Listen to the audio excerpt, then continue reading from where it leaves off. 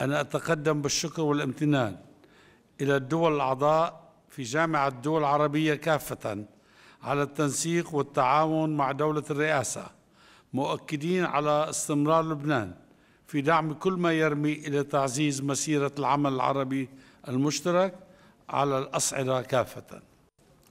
كما أتقدم بالشكر والتقدير لمعالي الأخ السيد أحمد أبو الغيد أمين عام جامعة الدول العربية وجهاز الإمانة العامة على الجهود المقدرة التي بذلوها خلال فترة ترأس الجمهورية اللبنانية لأعمال مجلسكم الموقر شهدت رئاسة لبنان للمجلس الوزاري العربي زيارة وزير خارجية روسيا السيد سيرجي لافروف ورئيس مجلس القيادة الرئاسي اليمني رشاد العليمي مقر الجامعة حيث ألقى كل منهما كلمة أمام مجلس الجامعة على مستوى المندوبين. كما خاطب مبعوث الرئيس الأوكراني إلى الشرق الأوسط مكسيم صبح مجلس المندوبين عبر تقنية الاتصال المرئي. إضافة لذلك ترأس لبنان الاجتماع التنسيقي العربي تحضيرا للاجتماع مع الاتحاد الأوروبي والاجتماع التاسع للمندوبين الدائمين لدى الجامعة الدول العربية وسفراء اللجنة السياسية والأمنية لمجلس الاتحاد الأوروبي. كذلك تشرف لبنان باستضافة الاجتماع التشاوري للمجلس الوزاري العربي في بيروت والذي حاول حاولنا فيه مواصلة تجربة خوض نقاشات حرة وصريحة وشفافة. لقد لاقى اللبنانيون حضور الأخوة الوزراء العرب بكل سرور وترحاب وكان الاجتماع فرصة للاطلاع من معالي الأخ رمضان العمامرة وزير خارجية الجمهورية الجزائرية الديمقراطية الشعبية على التحضيرات المميزة لاستضافة القمة العربية وعلى حرص القيادة الجزائرية على أن تكون قمة, قمة العرب قمة جامعة وناجحة. وفي هذا الإطار نعيد تأكيد موقف لبنان على ضرورة وأهمية أن تستعيد سوريا مقعدها في جامعة الدول العربية وهي دولة مؤسسة فيها. أصحاب السمو والمعالي والسادة. لقد فرضت التطورات الدولية بعد الانسحاب الأمريكي من أفغانستان والحرب الأوكرانية وما ترمز, وترمز إليه من اشتباك روسي أطلسي قد يحمل في طياته بذور نظام دولي جديد تحديات كبرى إضافية على بلداننا وشعوبنا. ولا يتعلق الأمر فقط بأزمتي الطاقة والغذاء على الصعيد العالمي بل يتخطاها لعملية الاستقطاب الجارية في سياق إعادة رسم المشهد الجيوسياسي في المنطقة والعالم. ولقد عبر وزراء الخارجية العرب في أكثر من محطة عن إدراكهم لهذه التحديات ولضرورة رفع مستوى التنسيق فيما بينهم من أجل أفضل طريقة للتعامل معها بشكل مشترك ومنسق ويحفظ مصالح, مصالح دولنا وشعوبنا. وأنوه في هذا الإطار بتوصية المجلس الوزاري الذي أكد على عدم تسييس المنظمات الدولية وهو ما أسس لأداء مشترك داخل العديد من المنظمات الدولية. وأن هذا التوجه في رفع مستوى التنسيق إلى أعلى درجة ممكنة قد أثبت نجاعته وتأكد الحاجة إليه يوما بعد يوم. وهو ما ندعو لأن يكون السمة الأبرز في عملنا خلال المرحلة المقبلة على أمل أن ينسحب إلى أكبر عدد ممكن من الملفات والقضايا الحيوية ذات الصلة بالمصلحة العربية العليا. أصحاب السمو والمعالي أيها الزملاء ليست التحديات العالمية الجديدة فقط هي ما تستدعي الحاجة إلى بلورة وتنسيق سياسات مشتركة لمواجهتها. فقضايا المنطقة وتحدياتها مثل الاحتلال الإسرائيلي والإرهاب وموجبات التنمية والاستقرار تتطلب أيضا أن نسعى للتعامل معها بشكل مشترك. كذلك هو الأمر حيال الأزمات في سوريا واليمن وليبيا واستهداف الاستقرار في العراق ولبنان وبلدان أخرى ناهيك عن تأزم الوضع الفلسطيني. إننا نأمل أن نتمكن من استلهام تجارب أمم أخرى في إدارة الاختلاف. والاستناد إلى ميثاق الجامعة العربية نفسها من أجل الخروج من هذه الدائرة المغلقة وفتح آفاق جديدة أمامنا جميعا فاحترام خصوصيات الدول والبلدان والمجتمعات والامتناع الحازم عن التدخل في شؤونها الداخلية كما تنص المادة الثامنة من الميثاق ينبغي أن يكون رائد مسيرتنا المشتركة لمواجهة التحديات المستجدة.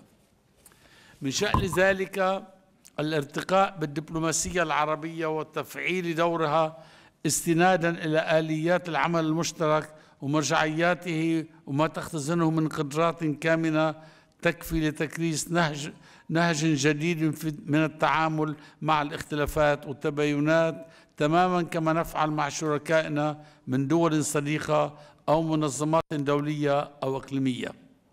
فلتكن المصلحة للعواطف هي أساس العمل المشترك وهي تتعارض المصالح فإن وحين تتعارض المصالح فإن الدبلوماسية هي وسيلة معالجتها على قاعدة الاحترام المتبادل للسيادة والمصالح الوطنية في سياق الحرص على المصلحة العربية المشتركة. أصحاب السمو والمعالي والسادة لا يزال لبنان يعاني من الانتهاكات الإسرائيلية والخروقات اليومية والمتزايدة على نحو يرهب اللبنانيين في المناطق المأهولة كافة. رادع إقليمي أو دولي حيث تصر إسرائيل على سياستها العدوانية والدفع نحو التصعيد واستخدام الأجواء اللبنانية للاعتداء على سوريا. كما لا تزال ترفض الانسحاب من الأراضي اللبنانية المحتلة وفقا لقرارات الشرعية الدولية رقم 425 و 1701 في مزارع شبعة اللبنانية وتلال فرشوبة والجزء الشمالي من قرية الغجر. إن الصمت الدولي يشجع إسرائيل على الإمعان والاستمرار في خروقاتها واعتداءاتها وانتهاكاتها لقرارات الشرعية الدولية. ونحن نعول على الموقف العربي الموحد دعما للبنان بمواجهة هذا الواقع. أما في فلسطين المحتلة فلا يزال الاحتلال الإسرائيلي يتمادى في ممارساته العدائية في حق الشعب الفلسطيني وفي تقييد سياسته الرامية إلى تقويض أسس الحل النهائي للقضية الفلسطينية. هو ما يؤكد أنه لا يزال عاملا مهددا للأمن والاستقرار في المنطقة.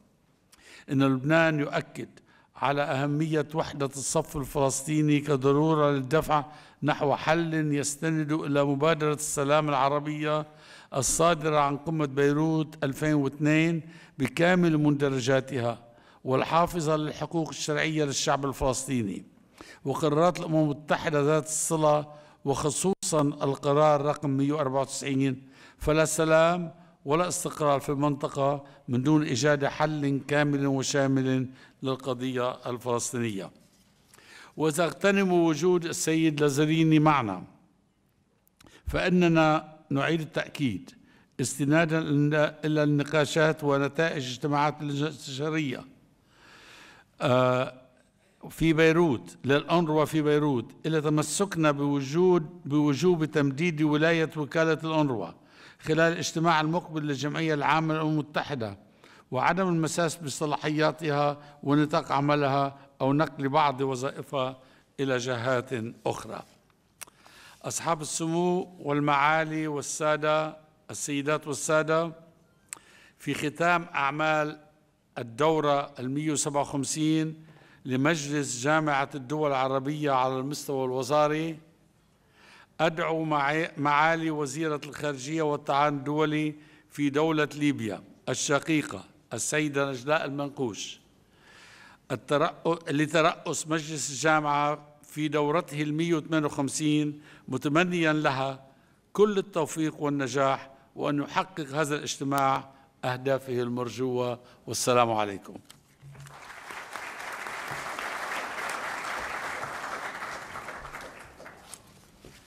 كانت فرصة سعيدة. سعادة. لازم لازم تدعو.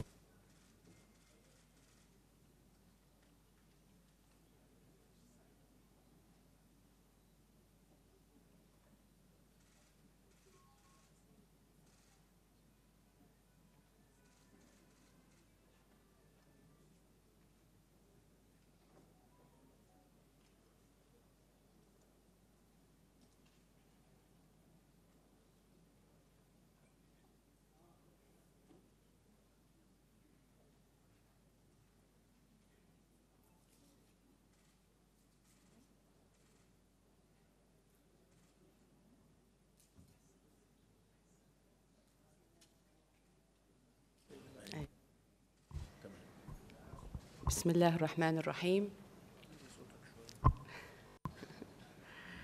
أصحاب السمو والمعالي الوزراء المحترمون معالي الأمين العام لجامعة الدول العربية السيد أحمد أبو الغيط السيد فيليب لازاريني وكيل الأمين العام للأمم المتحدة والمفوض العالم العام لوكالة الأونروا معالي السيدة تنغا فاغون وزيرة خارجية جمهورية سلوفينيا. تحية طيبة لكم. تحية طيبة لكم ملوءها الود الممزوج بأمل شعوبنا العربية أن يكون اجتماعنا هذا فرصة لتعزيز العمل العربي المشترك عبر إحدى روافده التي يمثلها مجلس جامعة الدول العربية الذي سيلتئم اليوم على مستوى وزراء الخارجية في دورته الثامنة والخمسين بعد المئة.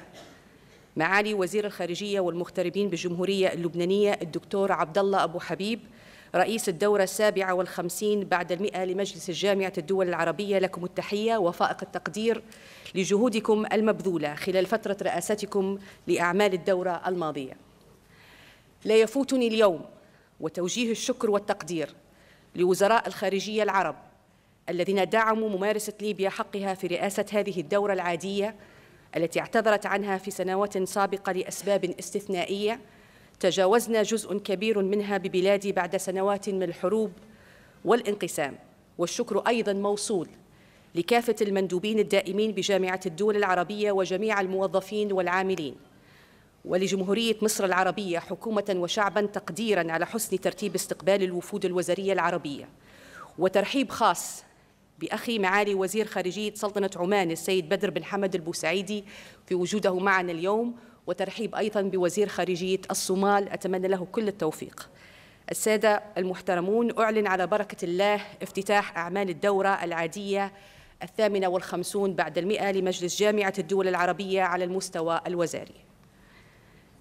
السادة المحترمون بداية إنه لمن دواعي الفخر على المستوى الشخصي والمهني أن أترأس اليوم مجلسنا الموقر كأول امرأة عربية ووزيرة خارجية تستلم مهام هذا المنصب الدوري.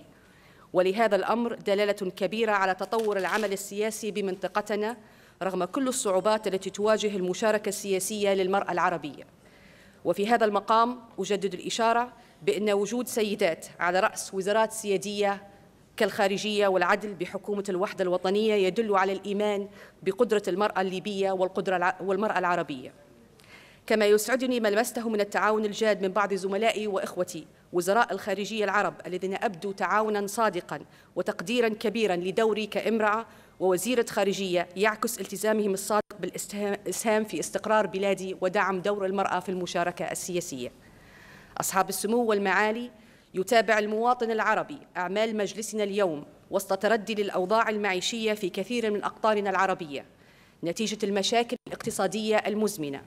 التي رافقت عقود قد خلت من التوتر وتعقيد تفاصيل الأوضاع الداخلية بكثير من الدول الأعضاء بهذه المؤسسة العريقة. نجتمع اليوم وقد ارتفعت خلال الأعوام العشر الماضية أعداد اللاجئين والنازحين والمهجرين خارج أوطانهم لتبلغ الملايين حول العالم. وبدول منطقتنا العربية فحري بنا اليوم أن نتحمل مسؤوليتنا في دعم إعادة الاستقرار لمنطقتنا وإعادة الأمل لشعوبنا والعمل موحدين في مواجهة هذه التحديات التاريخية وتوفير حياة كريمة تليق بشعوبنا. من المعلوم أن موقع الأقطار العربية المتوسط لخارطة العالم الاقتصادية والجيوسياسية قبل ذلك موقعا الحضاري والثقافي جعلنا في مواجهة تداعيات كافة الأزمات العالمية بشكل مباشر وغير مباشر. مما يفرض علينا اليوم بذل جهود استثنائية تحافظ على استقرار الدول العربية ومنع تطور الأحداث بشكل سلبي بالدول الشقيقة التي تعاني ويلات الحروب والانقسام وخطر الإرهاب وتداعيات الأزمات الاقتصادية. رغم كل هذه التحديات التاريخية إلا أن شعوبنا اليوم أكثر تواصلاً مع بعضها البعض كنتيجة للتطور التكنولوجي. وقد تقاسموا المخاوف والآمال نحو المصير المشترك الذي نتقاسمه جميعاً. كما أن حكومات دولنا اليوم أكثر عزماً في مواجهة التحديات المشتركة وتفهماً لمخاوف كل بلد إزاء الأخطار التي تهدد الأمن القومي لدولنا ومصالحها. إن تبني سياسة الحوار الشامل حول كل القضايا العربية المشتركة وتفهم مخاوف الجميع هي مدخل مهم لإحياء الحوار والعمل العربي المشترك. إنني أؤمن إن مؤسسة جامعة الدول العربية تكون قادرة وستكون قادرة على رعاية هذا التوجه في هذه اللحظات التاريخية من عمر المنطقة. أصحاب المعالي والسمو إن ارتباط شعوبنا التاريخي بقضيتنا المركزية فلسطين يتطلب منا العمل بفعالية أكبر للوقوف في وجه الممارسات الإسرائيلية المتواصلة لتهويد القدس واستمرار توسيع المشاريع الاستيطانية المفروضة والمنتهكة لمقررات الأمم المتحدة ومجلس الأمن المتعلقة بالقضية الفلسطينية. كما أن هذه الممارسات تقوض أي فرص لنجاح مبادرات السلام بالمنطقة. إن وحدة أبناء فلسطين هي الخيار الأوحد لتوحيد الموقف العربي الضاغط على الأطراف الفاعلة بالمنظومة الدولية الداعمة للسلام بالمنطقة العربية. اليوم أيضا نناشد أشقاءنا العرب من أجل العمل جميعا لاستعادة الأمل لشعبنا في اليمن وألا نسمح بانهيار مسارات المحل السلمي والسياسي حرصا على سلامة المدنيين في كل من اليمن والمملكة السعودية وجوارهما الخليجي. كما أننا نشيد بالدور السعودي لحل الأزمة اليمنية وصولا لاتفاق الرياض الذي يمثل فرصة تاريخية لإنجاز الحل السلمي للأزمة اليمنية والتجربة العمانية في التسامح والتعايش السلمي. كما نشجع تنفيذ مبادرات الإعمار وإنهاء معاناة المدنيين وإعادة الاستقرار للمنطقة في مواجهة التحديات التي تواجهها انطلاقا من المبادئ الحاكمة للقانون الدولي وبنود الاتفاقيات السياسية التي رعتها الأمم المتحدة ولاقت دعم المملكة المتحدة ودول مجلس تعاون الخليج العربي. كما ندعو لوحدة جهود دول المنطقة في حماية الملاحة البحرية وتأمين تحركات سفن وإمدادات الطاقة بما يضمن مصالح جميع الدول المطلة والقريبة من الممرات المائية الحيوية لاقتصاد المنطقة والعالم. إن وحدة الموقف العربي إزاء هذه التحديات التي تمس منابع الطاقة وممراتها يجب أن يكون بنفس القوة في مواجهة ما تتعرض له جمهورية مصر وجمهورية السودان في قضية سد النهضة والذي يتطلب دعم الموقف العربي الرسمي لحقهما في الدفاع عن أمنهما المائي عبر مسار التفاوض والتواصل المباشر والمستمر مع إثيوبيا حول كافة التفاصيل المتعلقة بسد النهضة. ان ما يتعرض له المدنيين في سوريا جراء استمرار النزاع وتباطؤ المسعى العربي لمساعدة السوريين في حل أزمتهم. يفاقم من معاناتهم اليوم ويؤخر من فرص السلام الشامل بين السوريين. ونحن نشجع أن يكون لنا دور أكبر لرعاية السلام وقيادة المسارات الحل استكمالا للجهود والمبادرات الأممية ودول الجوار لقيادة هذه المساعي. السيدة والسيدات والسادة أن الملمح الأبرز الذي بدأ يشكل السياسة العربية لدول وحكومة منطقتنا خلال السنوات الثلاثة الماضية هو الجنوح للحوار بدلاً عن الصدام والانفتاح عن الآخر بدلاً عن الإقصاء واستيعاب مصالح بعضنا البعض ومخاوف كل الأطراف. من هذا المنطلق فإننا نبدي تشجيعنا لمواصلة مبادرات السلام والحوار وأخص جهود دولة الكويت التي سعت عبر المبادرة الكويتية الخاصة بلبنان لإعادة بناء الثقة بين اللبنانيين وأشقائهم الخليجيين. كما أن مبادرة دولة قطر للوساطة وإرساء السلام بين الأشقاء التشاديين تشكل فرصة سانحة لتعزيز الاستقرار في تشاد الدولة الجارة لبلادي التي يهمنا استقرارها وندعم مساعي الإخوة في قطر آه، معها. السيدات والسادة المحترمون إن موقع اليوم كوزيرة الخارجية لدولة ليبيا واستنادا إلى موقف حكومة الوحدة الوطنية في ليبيا الرافض لعودة الحرب في بلادنا يرتب علينا مسؤولية تاريخية بألا تكون قضية بلادي مجرد بند على جدول أعمال مجلسنا الموقر أو باقي المحافل الدولية لسنوات قادمة. وبالعمل الدؤوب والإرادة الوطنية للليبيين وبدعم أشقائهم العرب الذي الذي يجب أن يتواصل سنتمكن من إجراء انتخابات وطنية في ليبيا وفق لقوانين نزيهة وعادلة وقبلها تهيئة الظروف الملائمة لإجرائها في كافة مناطق ليبيا تحقيقا لإرادة أكثر من 2 مليون ليبي استلموا بطاقات المشاركة بالانتخابات في أواخر العام الماضي. يكفي شعبنا الليبي الأبي ما عاناه من ويلات الحرب والانقسام والإرهاب وتبعات التدخل الأجنبي خلال السنوات الماضية. نحن ندرك صعوبة المراحل الانتقالية وما يصاحبها من معوقات للتحول الديمقراطي ولكننا في نفس الوقت نؤمن بإرادة شعبنا القويه المتطلعه للسلام والتنمية.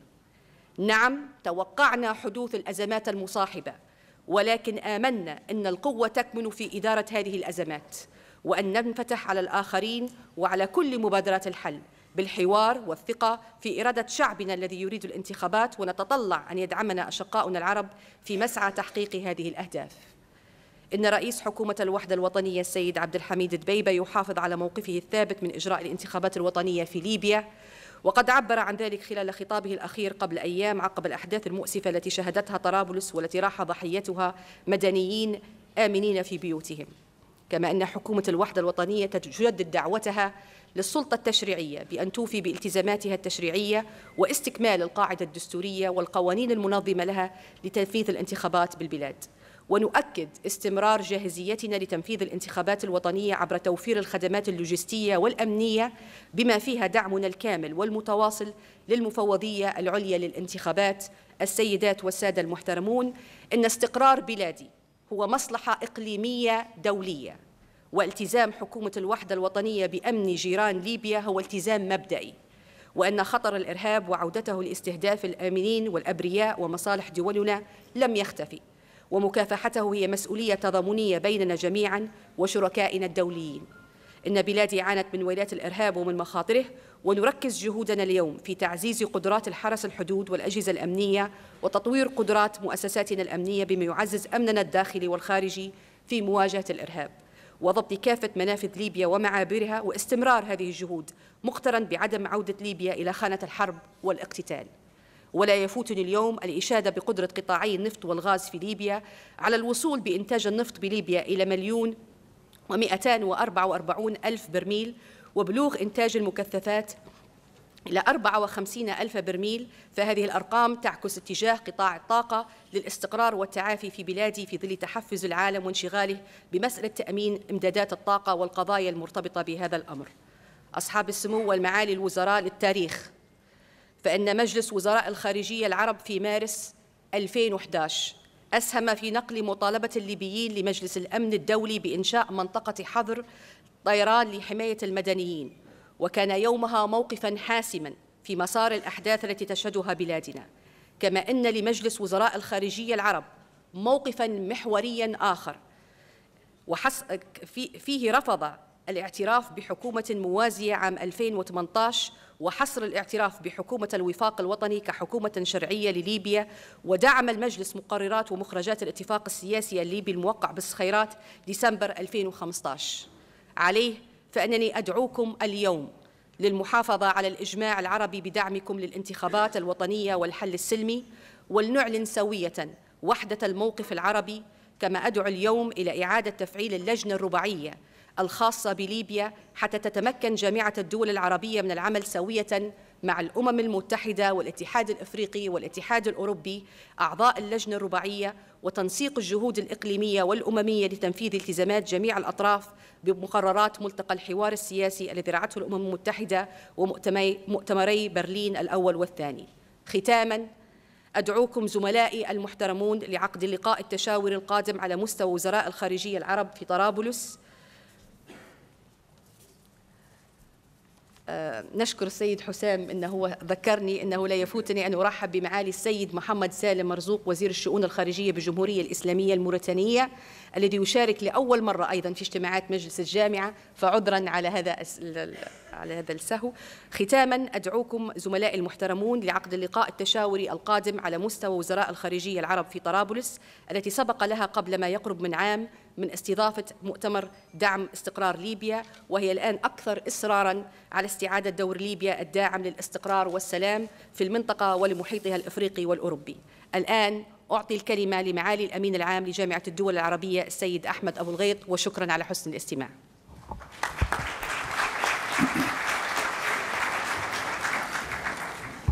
شكرا. شكرا سيادة الوزيرة أصحاب السمو والمعالي الوزراء. يعيش اليوم العالم حالة خطيرة نلمسها جميعا من تلاحق الأزمات وتداخلها وتسارع وتيرتها. وما من دولة إلا وتجد نفسها اليوم في خضم هذه الأزمات بصورة أو بأخرى. مضطرة للتعامل مع تبعاتها والتجاوب مع مجرياتها. وليس العالم العربي ببعيد عن هذه الأزمات ومخاطرها.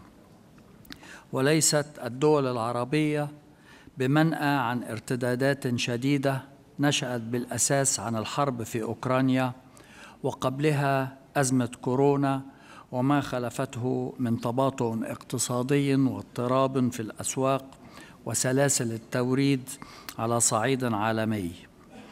لقد كشفت هذه الأزمات من بين ما كشفت عن ترابط القضايا والمشكلات في سلسلة متصلة فالطاقة والأمن الغذائي والتغير المناخي.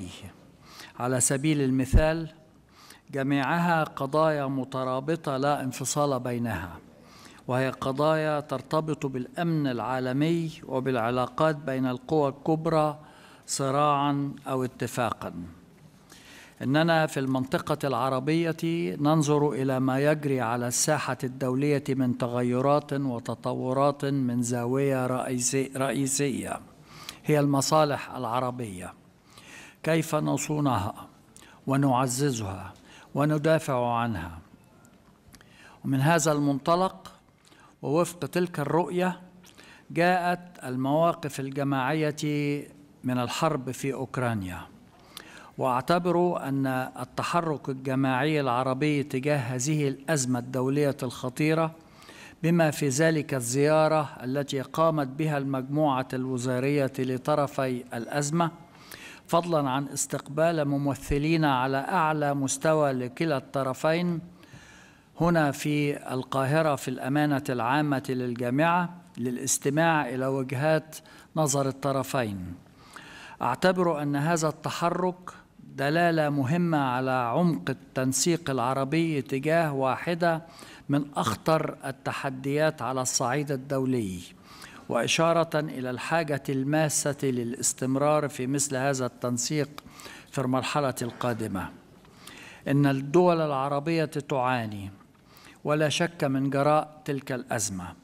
ربما كان التراجع في أوضاع الأمن الغذائي هو أخطر ما تتعرض له المنطقة من آثار وتبعات. وللأمن الغذائي كما هو معروف علاقة واضحة بمعدلات الفقر التي تصاعدت على صعيد عالمي وفي المنطقة العربية للأسف. كما أن تأمين مصادر الغذاء يعد جزءا لا يتجزأ من الأمن القومي العربي بمفهومه الشامل. وكما تعرفون جميعا السادة الوزراء فقد طرح هذا الموضوع على أجندة العمل العربي مؤخرا بمبادرة من دولة الكويت في يناير الماضي. الأخ العزيز الشيخ أحمد ناصر الصباح الذي تحدث بالأمر في وقته. وحظي الطرح بتأييد من كافة الدول العربية. وقد حرصت من جانبي على تكليف المنظمة العربية للتنمية الزراعية بوصفها الزراعة الفني المتخصص والمعني بملف الأمن الغذائي بإعداد دراسة تكاملية شاملة حول الموضوع. لا تبدأ من الصفر.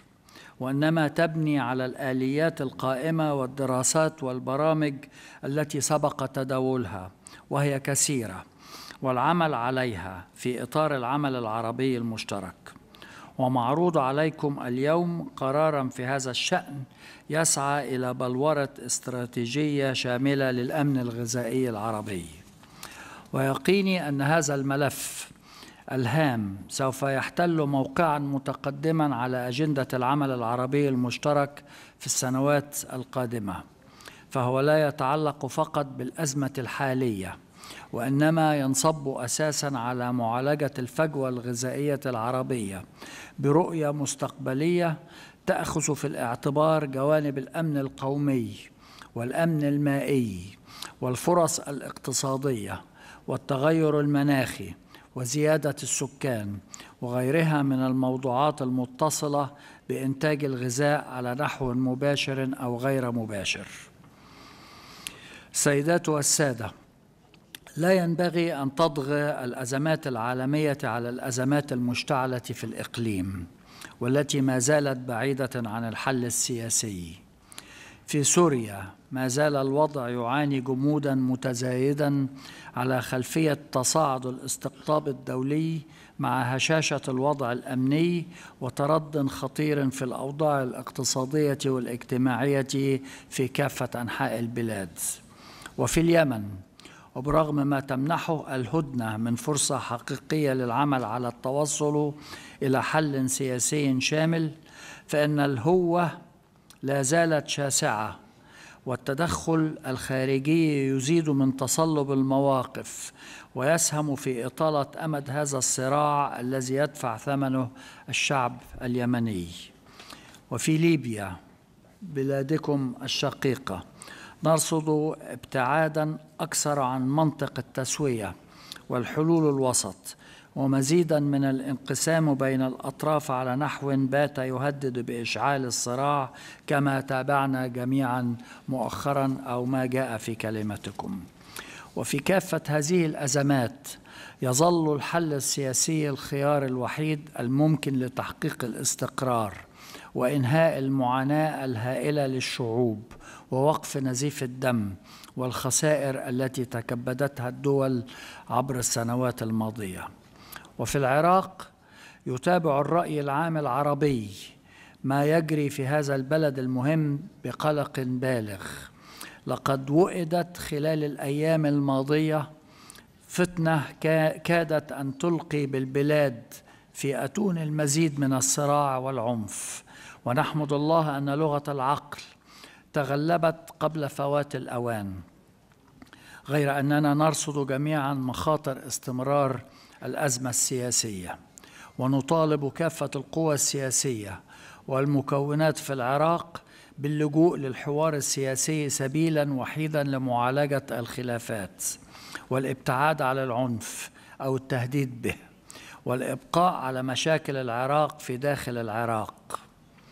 لقد عانى الشعب العراقي كثيرا وهو يتطلع بكاف بكل أطيافه إلى الاستقرار السياسي والأمان الاقتصادي ويسعى لأن ينأى ببلده عن الاستقطاب الإقليمي. السيدات والساده إن تجميد المسار السياسي لحل القضية الفلسطينية يعد جريمة في حق المستقبل مستقبل كافة الشعوب في هذه المنطقة التي تتطلع إلى الأمن والإزدهار الشعب الفلسطيني أيضا له الحق في أن يكون جزءا من هذا المستقبل وأبنائه يعانون من استعمار تزداد شراسته بل وأقول تتأكد عنصريته كل يوم. وبينما وبينما تباشر إسرائيل القمع والاحتلال تحت سمع وبصر المجتمع الدولي للأسف نرصد رفضا واستنكارا لمنطق احتلال الأرض في مناطق أخرى من العالم وكأن هناك معيارا لفلسطين ومعيارا مختلفا للآخرين. وليس لهذا تعريف في رأيي سوى ازدواجية المعايير المقيتة والكيل بمكيالين. إن الحل العادل والدائم للقضية الفلسطينية بإنهاء الاحتلال وإقامة الدولة الفلسطينية المستقلة على حدود الرابع من يونيو 67 يظل المفتاح الأهم لاستقرار هذه المنطقة على المدى الطويل وتجاهل هذه القضية لا يعني اختفائها أو انزوائها فهي قضية عربية حية تحظى بالإجماع العربي بل والدولي على مدى عقود. وستظل قضية أساسية لدى هذه الجامعة إلى أن تجد طريقها إلى الحل وفق مقررات الشرعية الدولية والقانون الدولي. أخيرا أقول أن العالم العربي على ما يعانيه من أزمات وبرغم ما يواجهه من تحديات لا زال قادرا على الاستجابة للتحديات ككتلة إقليمية صلبة ومتراصة. أننا نتطلع بكل ثقة للقمة القادمة في الجزائر في أول نوفمبر القادم بإذن الله. وندعو الله أن تكون محطة مهمة في تاريخ العمل العربي المشترك وأن تكون سببا للالتئام والوحدة. وتعبيرا اصيلا عن الرأي العام في بلادنا الذي يرغب في رؤية زعمائه وقد اجتمع شمل شملهم وتوحدت كلمتهم. ولأجل هذا الهدف السامي يتحتم علينا معالجة أي خلاف واحتواء أي مشكلة واضعين نصب أعيننا على الدوام المصلحة العربية العليا. حريصين كل الحرص على متانة الرابطة التي تجمعنا جميعا. والله ولي التوفيق. شكرا جزيلا. والسلام عليكم ورحمة الله وبركاته.